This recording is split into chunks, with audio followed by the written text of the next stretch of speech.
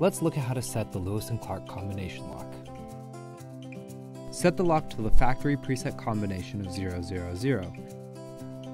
Pull the shackle straight up and rotate 180 degrees counterclockwise. Now press the shackle firmly down into the body of the lock and rotate it back 90 degrees. Set your custom combination. Make sure the numbers are aligned with the markers in the window.